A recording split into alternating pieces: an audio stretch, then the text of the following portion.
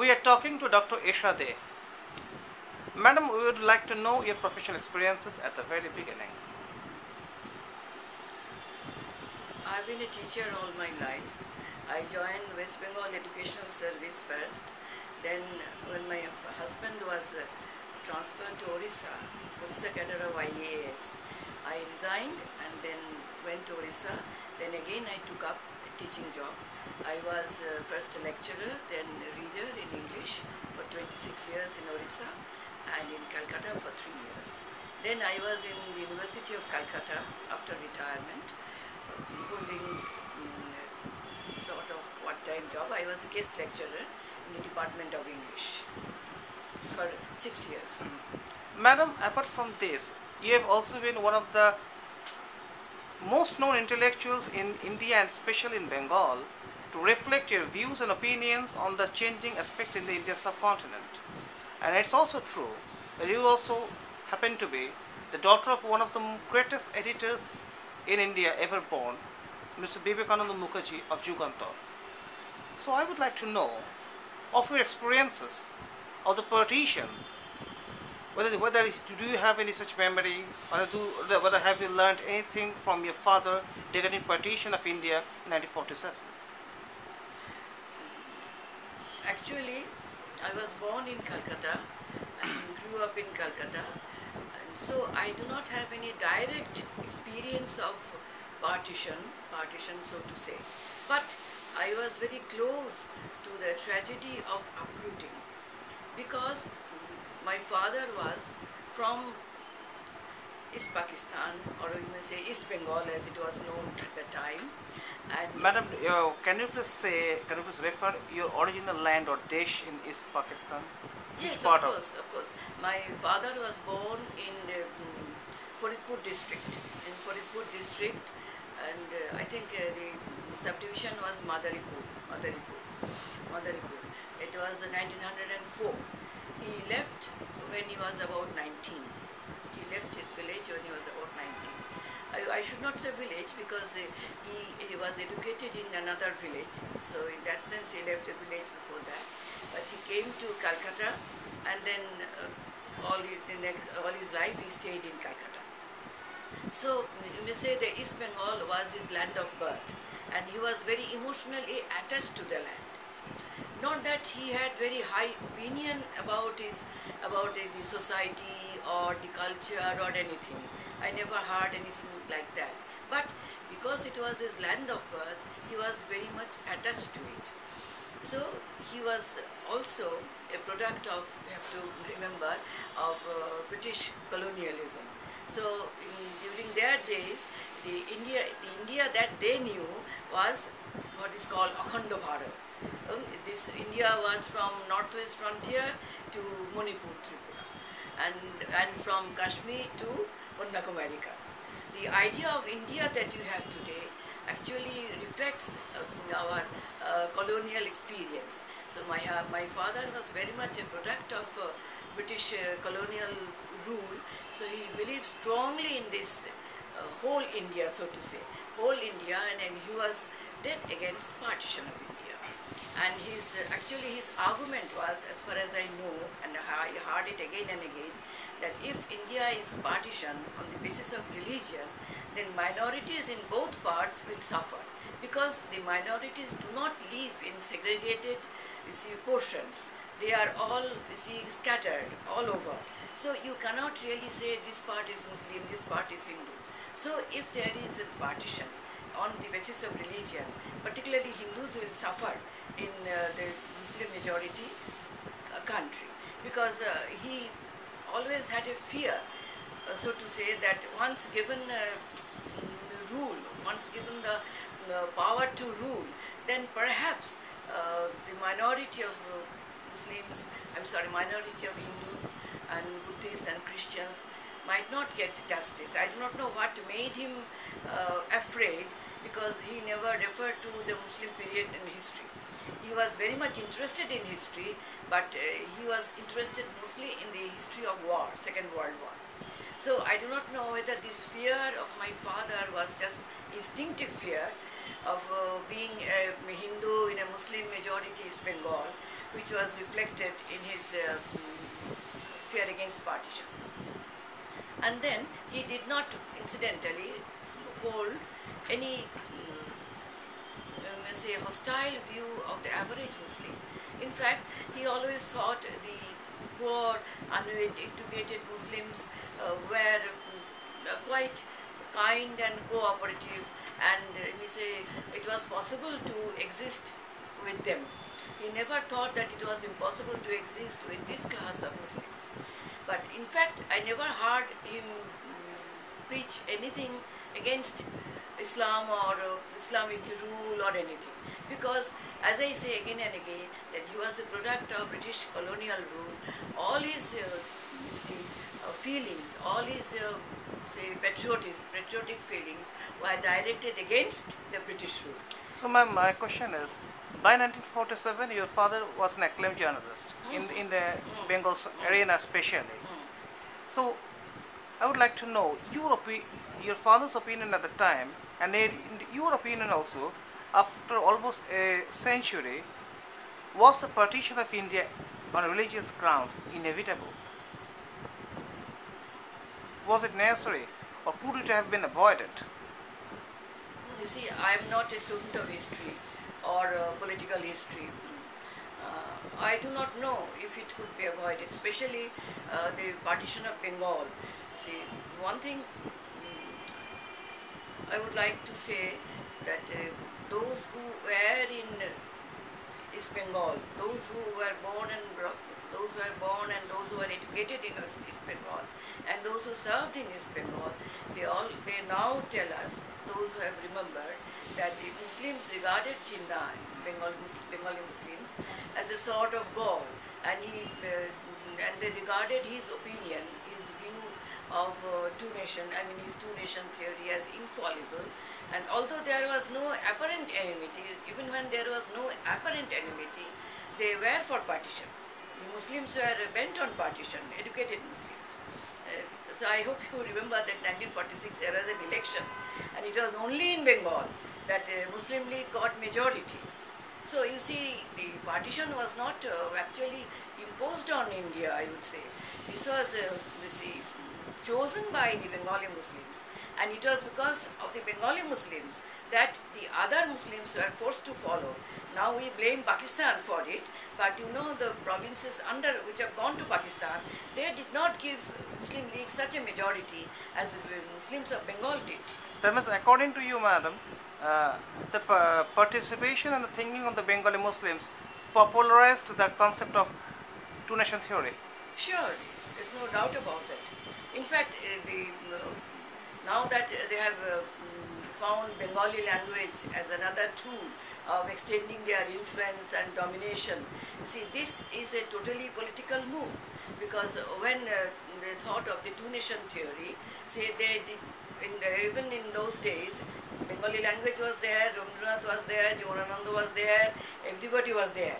But the Muslims of Bengal did not think much of language, they did not think much of culture those days. They thought about the great potential of Bengali language and culture, you see, only when they could uh, use it politically later on. Later on. And so far as partition is concerned, let us come back to our original, you see, uh, point of discussion. I distinctly remember my first actually experience, my first uh, uh, remembrance, you see, my, my childhood was the mm, was the riot of 1946, 1946 riot, and uh, So you did witness it personally. Yes, yes. It was a first-hand experience. It was a first-hand experience. I remember it quite vividly. You see, uh, we were uh, on a street, Dinendra Street, Raja Dinendranath Street. It is uh, quite close to Deshbandhu Park. Uh, you see, I remember that. Uh, mm, see, we had to remain locked up, and had to, we had to leave our house and went to another house which had gun, and uh, the young boys, young boys of the locality, who had got out uh, whatever they could manage, sticks and rods and etc. So, ma'am, to defend us. do you think that the Hindu boys that came to the streets was a part of a defense and not part of an, any uh, retribution? No, no, no. They are absolutely in, in Defensive defense. approach, defense. There's no doubt about it. My, in fact, my first uh, memory is that we had. Ma'am, there, there is also a question also in this regard. Had there been no defense from the Hindus, would the Hindu population in India have been wiped out? Had there been no defense? Uh, it, uh, it is not uh, impossible. It was not impossible because I remember my you, first. are, my Madam, first you, you are uh, you are uh, saying, uh, saying this, taking the then Islamic frenzy into consideration. Actually, perhaps I did not think it then because you see, we had no idea that this could happen. But my first memory is I remember the uh, whole street um, uh, was covered by Sikhs. Sikhs, and uh, there was a Sikh community.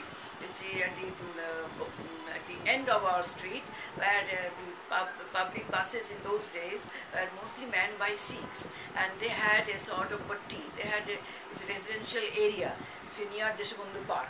And you remember all the Sikhs are uh, guarding us, so to say, guarding the whole street, and they are uh, with their uh, see open open weapon. Their weapon was open in their hand. The and they're kripans. going- Yes, kripans.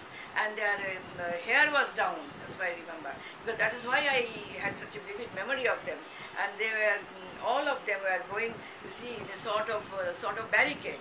See, it's, it's a moving barricade. You see, through the through the through the street they are going, and this gave us great strength. This gave us great strength.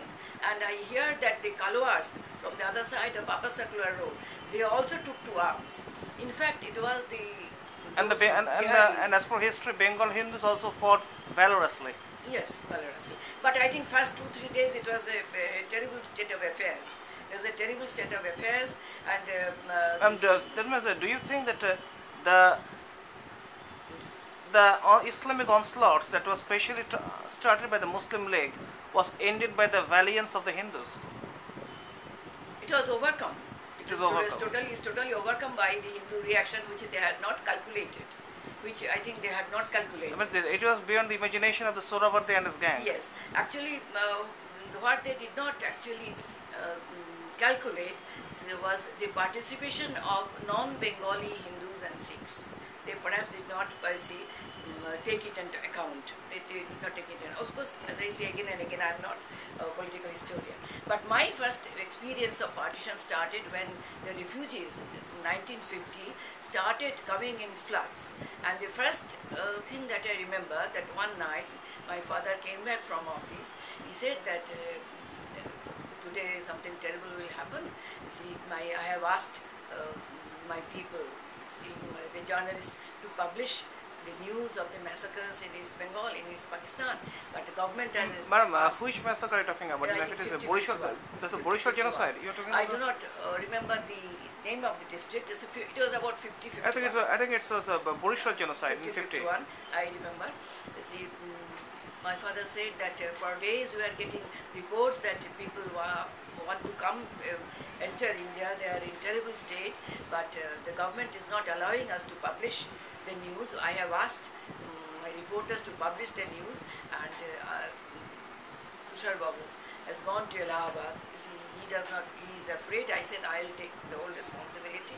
If the mm, paper is uh, mm, banned, banned, uh, so, so it, at about 12 midnight, I remember my father ringing up Jugantar office and asking, don't be afraid, you go on with the publication. All responsibility rests on me.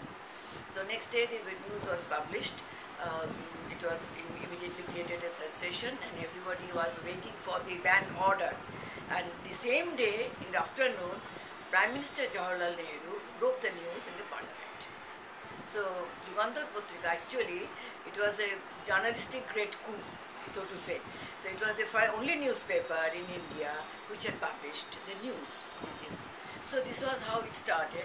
Then uh, the Ma'am, then I would like to know that uh, the the vigor of Jugantar that was seen in 1950 was not perceived, have not been has not been perceived in the media houses in Bengal in the following decades.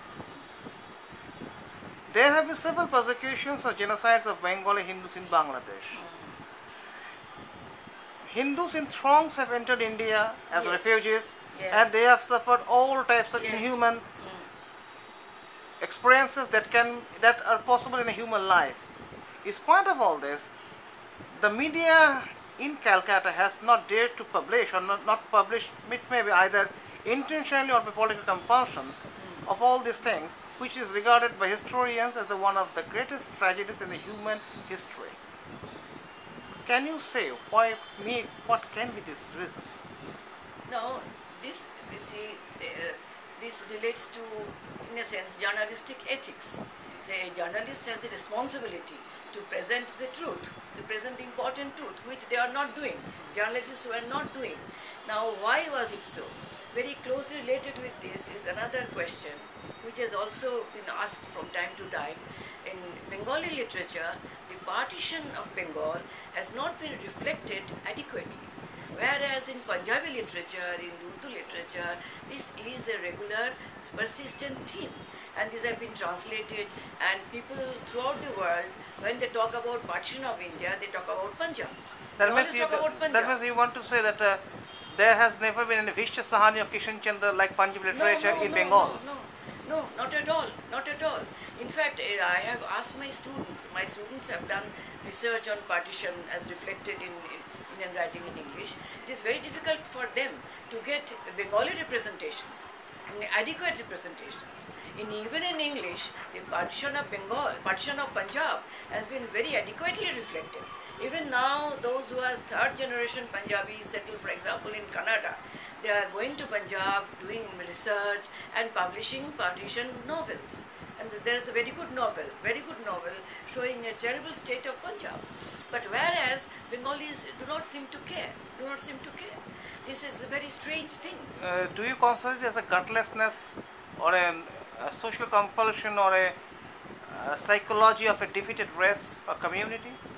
This is the psychology of a defeated race or community, no doubt about it. And I think uh, it is an This is so. So remember, this is sheer defeatism. Isn't there is nothing else than Chaudhary once said a very, very, very as he was, as usual, he was always very perceptive. That if a tiger comes to enters your garden, the Bengali would say, "No, no, it is not a tiger. It's only a cat." So uh, this is the uh, attitude of the Bengalis to the imminent danger.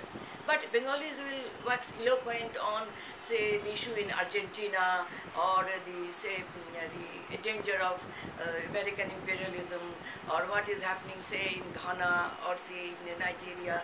They will wax eloquent on all these. But when it comes to your next door, what is happening next door, uh, see, to your own people, they will not do anything or they will remain silent. There's a very uh, deep-rooted, I think, psychological disorder. And I have seen, say, from 1950 to say 1960, 65, 65. It is, in fact, 1965, my father was no longer in Jugantar. He was in Basumati. There was another great wave of uh, refugees coming from, you see, in, uh, East Pakistan. You see, in Basumati also, he published one after another article. You see, protesting against these atrocities. In fact, there are And, uh, many Biharis, non-Bengali politicians, who took up the issue, but not Bengalis. It is very surprising. And um, in each and every step, your father had to fight with the governmental Yes, uh, decisions or yes. the governmental uh, premonitions or of the, of the obstacles offered by them. yes, yes, of course.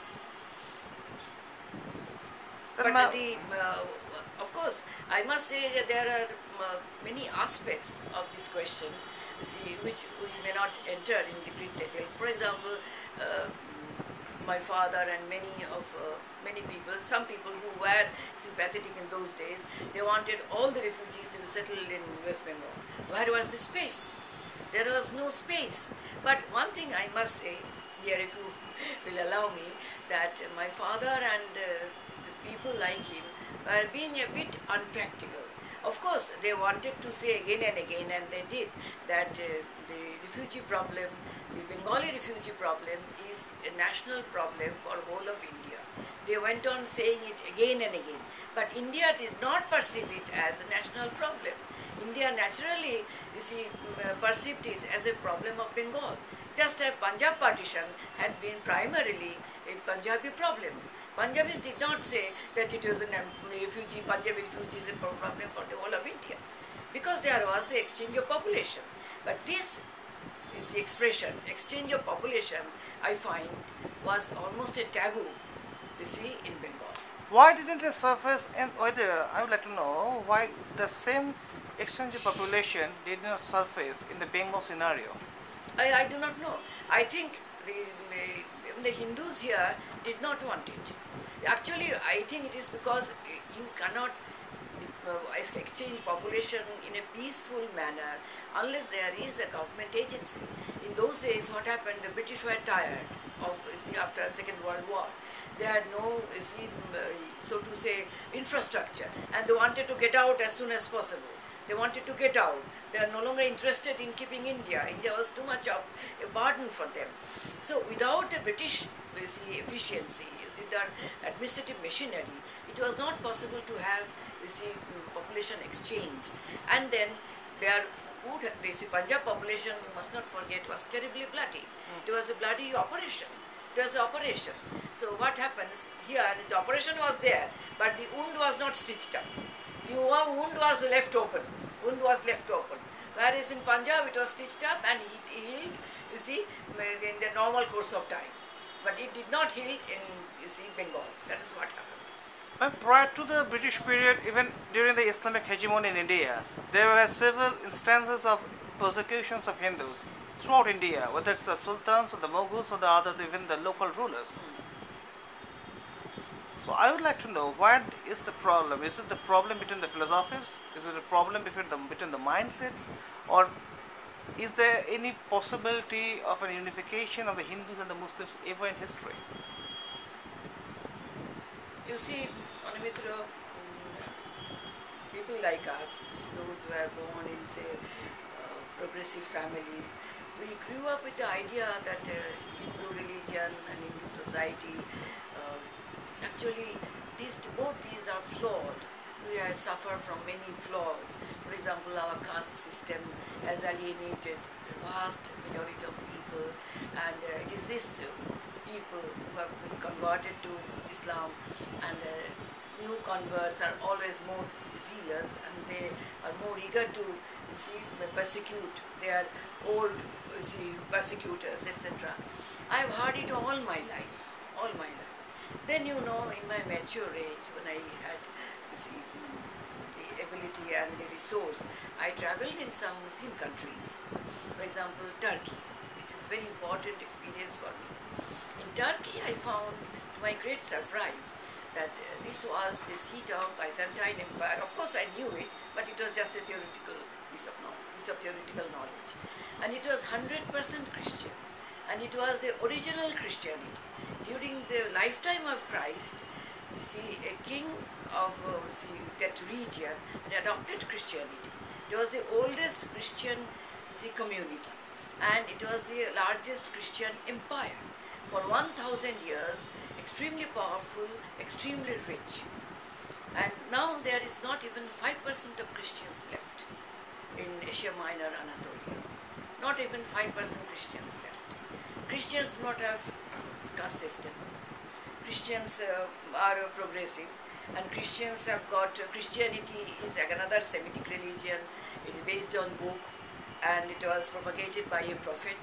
So why has Christianity suffered a fate worse than the fate of Hindus in India? If Hinduism is so flawed, if Hindu society is so mm, much responsible for conversion and for defeat, how do you explain the fact that even after 700 years of, we may say, our uh, servitude, we are still a Hindu majority country? Whereas the seat of Christianity, Asia Minor, has now only 5% Christians left. So I would like to know your deduction on this uh, fate of Egypt. Egypt. Egypt is uh, good that you have mentioned Egypt because I have visited Egypt also. In Egypt also, I found, you know, mm, do you mind if I say mm, uh, something little away from our subject?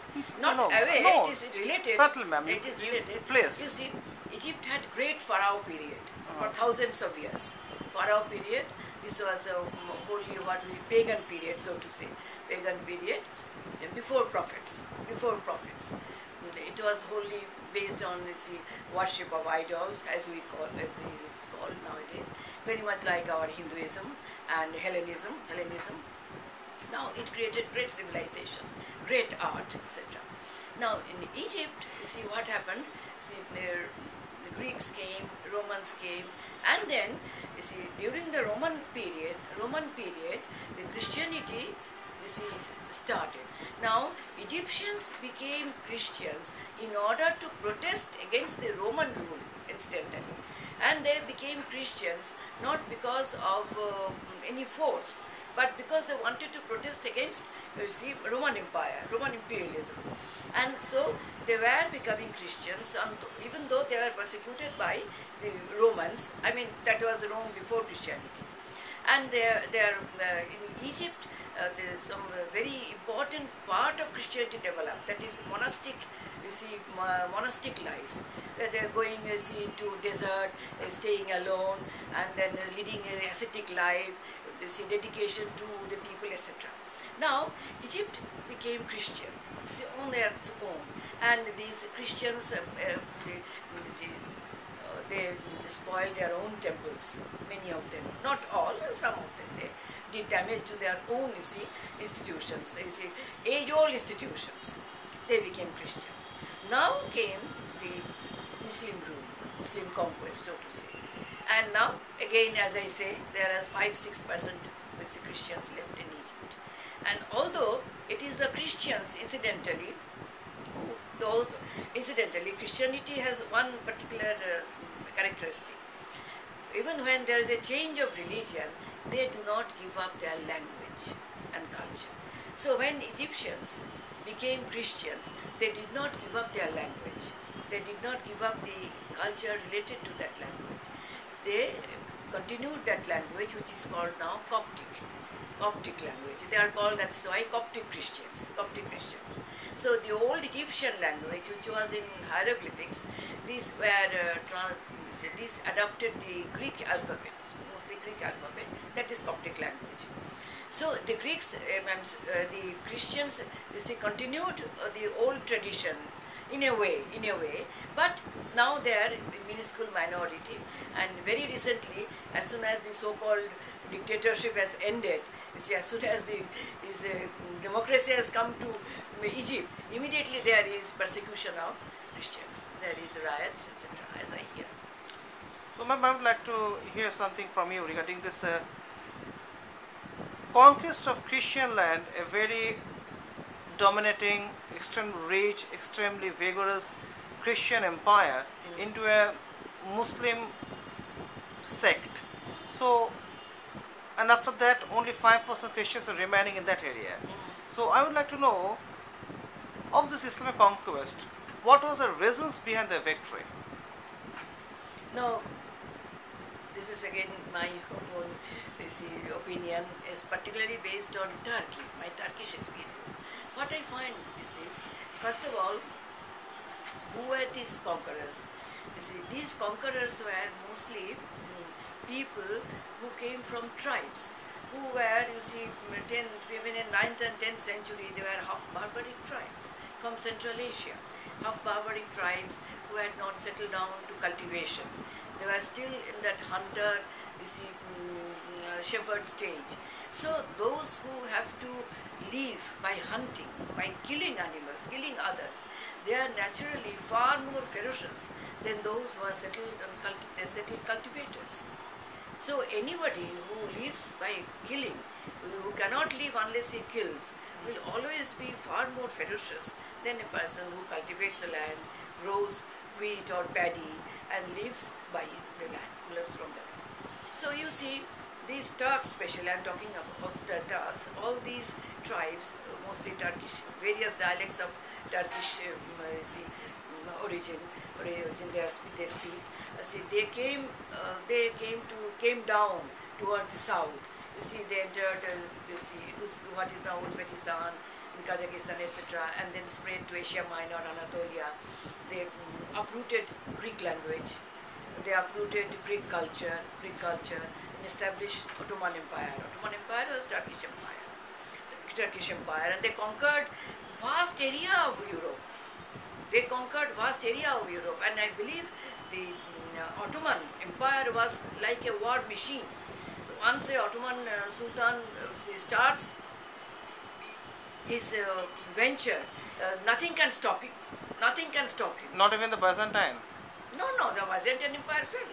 Byzantine Empire, the, Byzantine Empire, you see, the way the Byzantine Empire fell is a very good lesson for us to it nowadays, I think.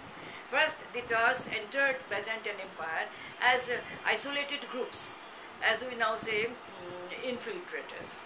Now they are just poor people, poor shepherds who do not uh, who do not have land or who are being driven by some natural calamity. They just want some land. They graze their sheep. They live peacefully. That was how they entered. You see, the eastern side of what is now Turkey, Asia Minor. They live and nobody bothered. In those days, the, you know, the boundaries were not marked. They, you see, uh, came and they settled down in various patches, and then they were living like that. And then some of them went through the whole Byzantine Empire, through you know, went to Turkey, went to Iraq and conquered it, conquered it. And then they established a small principality, which was uh, mm, Rum. It was the principality of Rum, Rum. And uh, just like you know, Arabs here, you see, conquered a small piece of India, and they are left there. Nobody bothered about them. You see, whether there was great Hindu empire just by its side, they did not bother. They did not conquer. They did not to take away that land. Similarly, there also for two three hundred years the small Muslim principality, you see, uh, which started there, it was incidentally quite progressive. It was quite liberal. They did not start with, you see, aggression. They just stayed quietly and they did many good things. They, they did many good things. And then one of their lieutenants, one of their, you may say, uh, feudatory, feudatory, you see, mm, uh, you may say, officer, so feudatory, he started his own area, you see, see, Osman, see, Osman Lee, you see, he, he called his, and that was his dynasty, Osman Lee, from that, the British or the Europeans called it um, Ottoman, Ottoman, Ottoman and then Ottoman. So this is the see, dynasty of Osman. Ottoman means this is the dynasty of Osman. Osman. So he started in a very small manner and they conquered more and more land and at last they see, mm, conquered Constantinople. Constantinople. And this conquest was possible because, as I now I come to the, the resemblance between Hindus and Christians, because the Orthodox Christian Christianity, which was established in uh, Asia Minor, was a law, dead against Rome, Vatican. Vatican and Constantinople were fighting with each other. This Roman Catholic Church and Greek Orthodox Church had become diff- uh, two branches.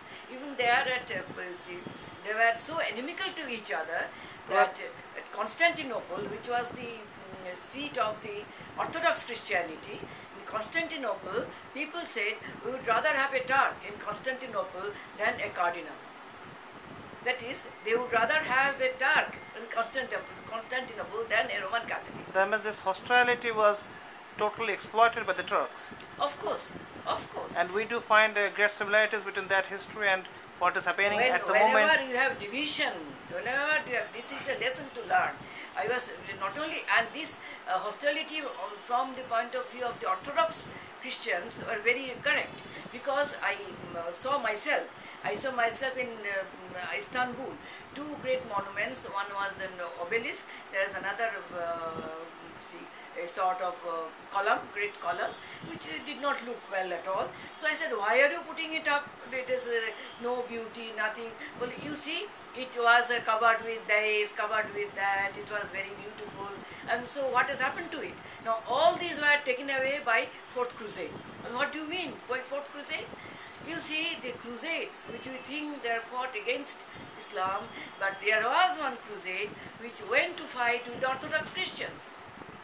So this enmity went to that length that instead of going to Jerusalem and you see, mm, delivering their own say, holy place, they went to see Constantinople, and on the plea of uh, putting their rightful owner to the throne, something like that, they started massacring these uh, poor Orthodox Christians, looted the palaces, and they took away, see, everything. They took away all gold and all, not only gold and silver and all precious metals, but even brass and all the holy relics. You see, in Constantinople, a great uh, uh, relic, Christian relic, was held. That is, as I said, the, the first king, it was a, a king in a small, obviously, principality in Asia Minor who became follower of Christ. He, when Christ was being criticized and persecuted in the Roman Empire, this disciple sent an invitation, they, you come, master, stay with me and my kingdom. So Jesus wrote back, no, I have got work here, so I am saying, you uh, spread my these words. And he sent a present. It is said that it was a handkerchief with his face painted on it. So this was a great relic which was kept and this was uh, honored in Constantinople. And this crusade took away that relic also and it has been lost forever. It has been lost forever. So this was a kind of enmity that another religion perhaps uh, would have matched. But in, inside the religion, you see, the, this enmity I think uh, simply without any parallel. I think. No, the, what is being seen in, in India at the moment has great similarities with that part of the history in Byzantines and the, what you have talked just now. So, ma'am, uh, my next question is very simple. Do you think that the democratic India, the democratic Union of Indian structure, has the capacity to thwart or even restrain this flow of infiltration or immigration, illegal immigration from Bangladesh? It has obviously failed even after the Supreme Court's very clear judgment that uh, this infiltration is uh, an external act of aggression, act of external aggression. Even after this clear judgment, the government of India has done absolutely nothing to either to control it or to send back or to send back the people who are staying here illegally. This is extremely dangerous, extremely dangerous, and uh, in future this will this may lead to you see disaster I should say. Remember, certainly there are several factors that are quite strong enough to indict or accuse the Hindus. But do you think that there is any possibility for the Hindus and Muslims living together peacefully? Can they live ever? No, this uh, you see many things happen in the future which cannot be you know which cannot be known beforehand. So after all, you know, future has many possibilities. See, at the present moment, because of this uh, Ma'am, I, I am asking you these questions mm. keeping the experiences of the last millennium in mind. Yes. If we think, if we keep that experience in mind, then uh, the uh, answer well tends to be negative. But I see, I think there you know hope springs eternal, etc. But uh, it, it all depends on you know how Islam changes in Middle East. The key to the future of Islam, you may say, it depends on you see of uh, depends on Middle East. How the, the Muslims there for the shape their uh, for the for the first 1400 years, it has been quite orthodox. Do you think it is there is any chance of liberalism to penetrate into the Islamic notions? No, one thing I've seen that uh, Mustafa Kamal Ataturk, you see, although he, mm, in order to keep Turkey intact, he had to take very harsh steps against uh, Christians, not because the Christians did anything, but because a very unequal treaty after First World War.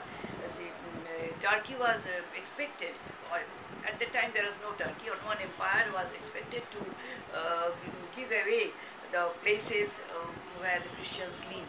So this was like partition, our partition. So Kemal Ataturk had to be uh, severe see, to keep the integrity of Turkey. But after keeping that, I must say he had been a very liberal ruler. And he had been a liberal, I must say, uh, what should I say, a liberal philosopher. I, I do not know if I can apply the word philosophy or philosopher to Kamal Atatürk. But I found in Turkey that Kamal Atatürk uh, occupies the same kind of position as Mao Zedong in China. Mao Zedong in China or uh, Gandhiji in India to some extent. That means he was a leader of eminence and with the perfect capability. Sure, there's no doubt about it. And I think, as a- although he did not need it, but he knew that he had uh, Christian pockets. He was quite aware of it. He was quite aware of it, and he became secular very emphatically, very emphatically. And I think it was his great deed that the Santa Sofia, which was a symbol of Islamic victory, Santa Sofia was turned into a mosque within, uh, I think, three days of the fall of Constantinople the great uh, see, uh, cathedral. I have seen it myself. It was also an uh, incomparable work of art.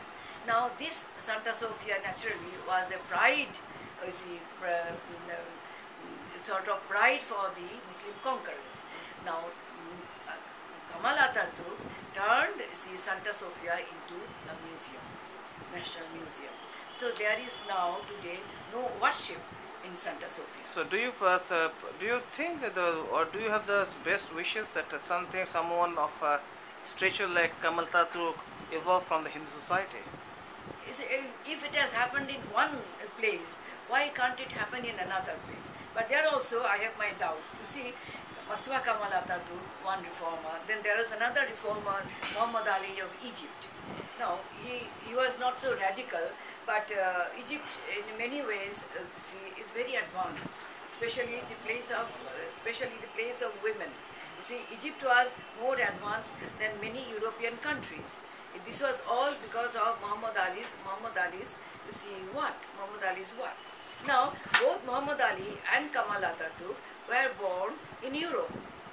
You see, they were the products of The Western the education. Ottoman, Ottoman Empire, yes. They were the Ottoman Empire. They lived on the periphery. They were born on the periphery of Ottoman Empire. In Macedonia, I think in Macedonia. Both of them were, born in Macedonia, I think uh, Salonika, or to- today Thessaloniki. It's called Thess- Thessaloniki. So they were actually Europeans who had been perhaps converted, or they are called Turks because they use Turkish language. I am not sure which one is true. But uh, they are of European uh, birth, no doubt about it. So how do you uh, do you uh, think that the same thing happen can, can happen in the life of the Bengali Hindus?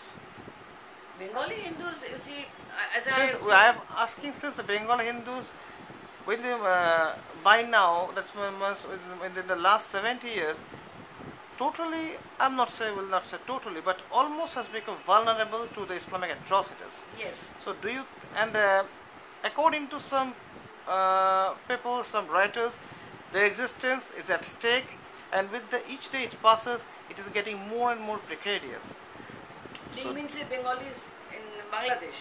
In even in, in Hindus in Bangladesh and also even in Bengal, if we take the recent incidents of these outrages, the mob violences in Kolkata in consideration, these things are getting these apprehensions are getting more and more deeper, are getting deeper.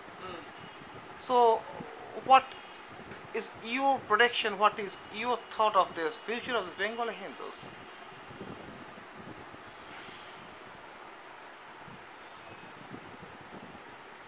I do not want to be cynic.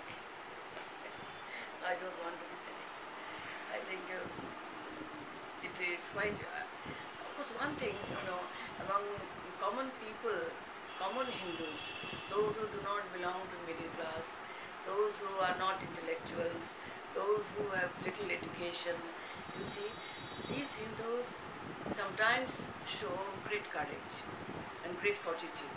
You may say, I have, if I have got faith at all in Bengali Hindus, this is in the Hindu, those who are, say, mm, The, the downtrodden. downtrodden, or well, uh, those who are now in, say, scheduled castes, or you say other backward castes, those who, by Hindu, upper caste Hindus, uh, I won't say they have exploited by mm, intention, but uh, the structure of society was such that they were definitely deprived, deprived.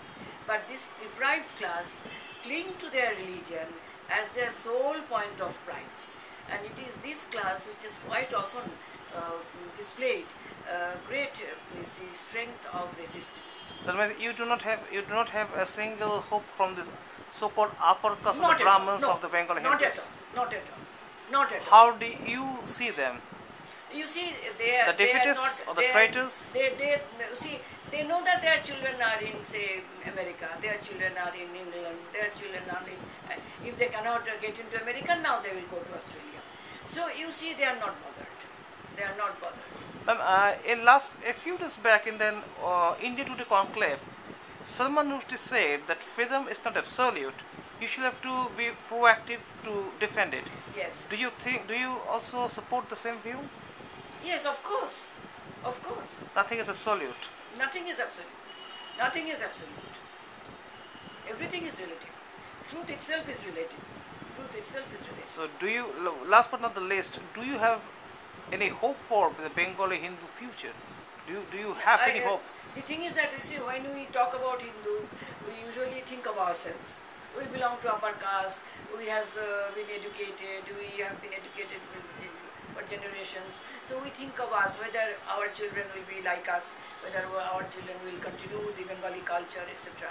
So you see, if we think of them, then uh, I'm afraid uh, I sometimes feel really uh, confused.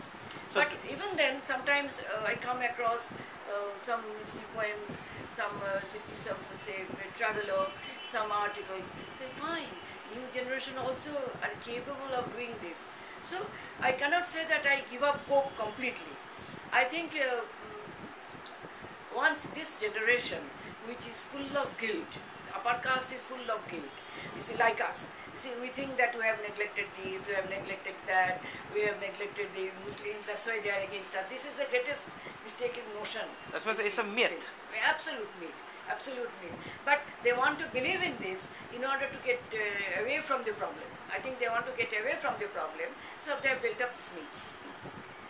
The lives of Bengali Hindus in Bangladesh are almost sealed.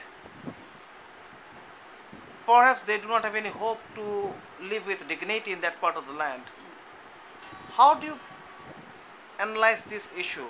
Do you think it's possible for the Bengali Hindus to Yeah. live with Bang- eh, dignity in Bangladesh still?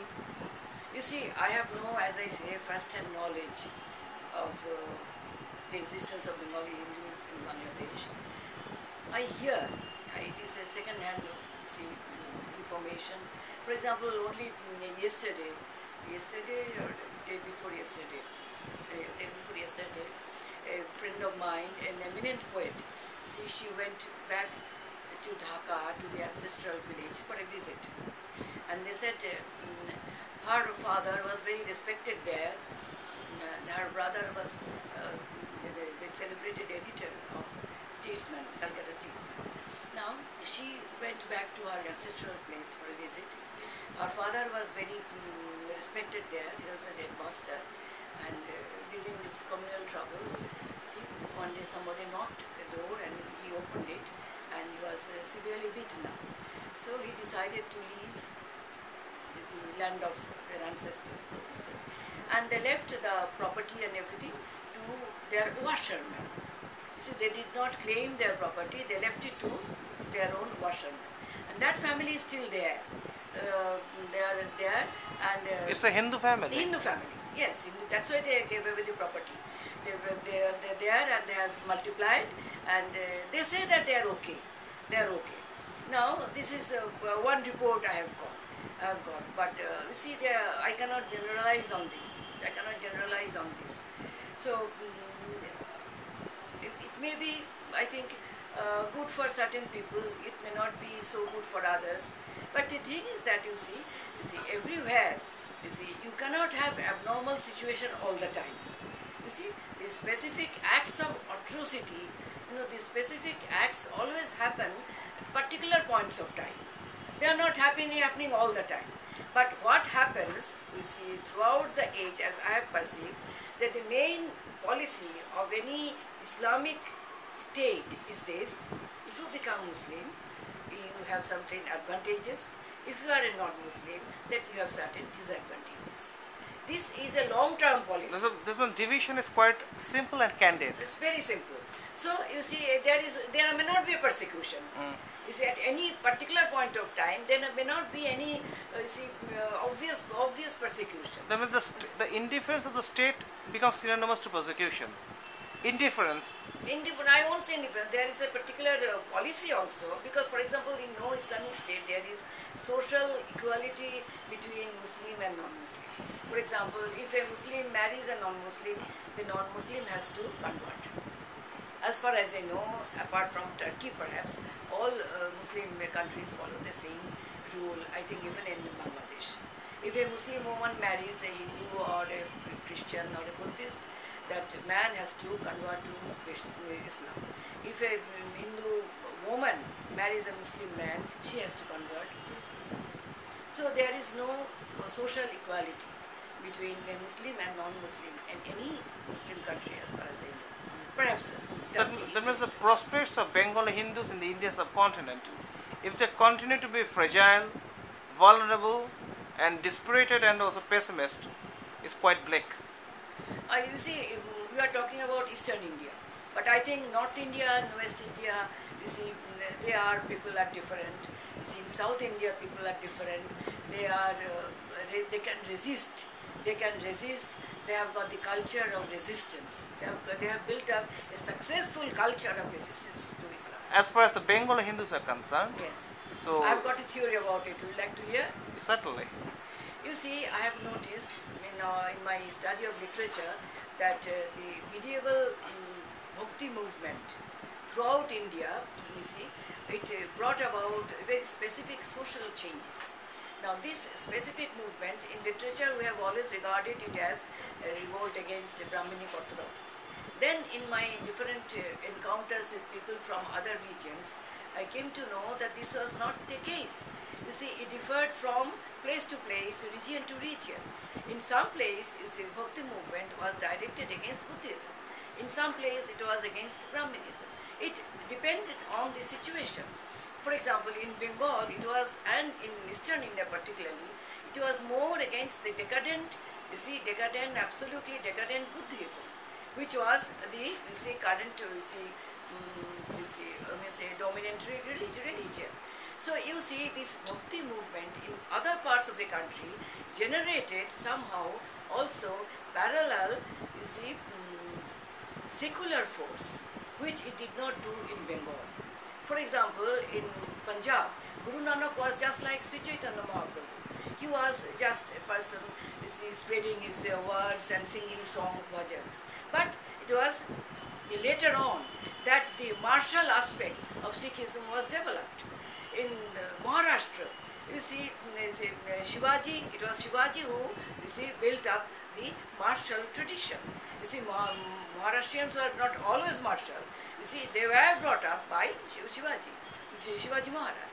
So in uh, Karnataka also there was a parallel movement, this parallel movement. But in Bengal there was no, you see, mm, warlike or martial counterpart of Bhakti movement. This was a great flaw. This has been one of the greatest flaws in the Yes. life of the Bengali Had it, had it, uh, had there been, you see, a person like Shivaji, or say mm, like Guru Govinda Singh, you see, then the history of Eastern India would have been different. In fact, that reminds me that in Orissa, you see, Orissa mm, held on to the Hindu, you see, state for a long time. Even now, Orissa has absolute Hindu majority. Majority. See, the Oriya seem to think that uh, Sri Chaitanya Mahaprabhu did a lot to diminish their martial tradition. In fact, this is one of their complaints. The Sri Chaitanya Mahaprabhu's Vaishnavism uh, uh, did not uh, actually uh, benefit the martial culture. Of course, when Sri Chaitanya Mahaprabhu went to Orissa, it did not have much martial culture left to begin with. But people think of past as you know, as a sort of uh, flat board. They don't, they don't think that uh, the immediate past was not actually so warlike. So, but as you said that, uh, say about Buddhism, I can say that this may apply to Vaishnavism, Bengali brand of Vaishnavism. But then perhaps Sri Chaitanya Mahaprabhu did not have much option. It was not for him to become a warrior leader. You see, somebody who was his disciple should have taken up the mantle. Just as Sri Ramakrishna's words are being preached by Swami Vivekananda. Swami Vivekananda is not actually a very, uh, I mean, uh, Vaishnavite figure. She, he is not actually a very, uh, I must say, uh, mm, non-violent, I, perhaps I should not say non-violent. Um, he is not actually a passive figure. He is quite active. He is quite active. This kind of action was not seen, you see, in uh, post-Chaitanya period in Bengal. Do you, last question ma'am, do you think that the evolution or development of a martial spirit at this moment can save the Bengali Hindus? You see, Bankim Chandra said one thing, Bahubal chai, Bahubal, Bankim. Bankim perceived it, you see, that uh, what we lack is Bahubal. Bahubal and we lack, of course, you see, sense of history. First, we must have sense of history. Unless we know where we went wrong, we cannot take correct steps. And number two, we have to build up. You know, there is nothing called martial race. This is a myth. You see, it all depends on training. It all depends on training. You see, if you train uh, people, if you train a community, see, any community can become martial. Any community can become, you see, mm, uh, absolutely inactive, passive. It all depends on training. I don't think anything is impossible. I don't think anything is impossible. Thank you very much, Dr. De. Thank you very much for the interview.